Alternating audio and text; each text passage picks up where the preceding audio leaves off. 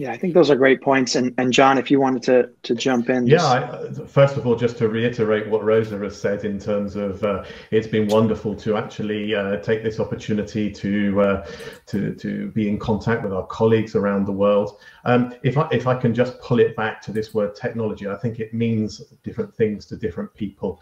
And uh, if I speak personally, I think it's been an opportunity. I was just actually brainstorming a, a list of the apps that uh, Gabriel mentioned, and and uh, I think two years ago, I don't know if I was sort of fully proficient in WhatsApp and Skype and Microsoft Teams and Zoom and every other thing. But I think also technology means different things to different people based on what they have, what they can use, and what's available to them.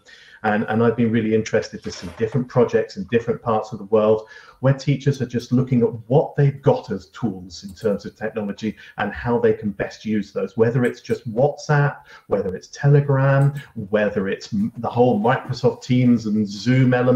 It's really been a, a success story in this key word that I think we associate, I associate with all English language teachers, creativity.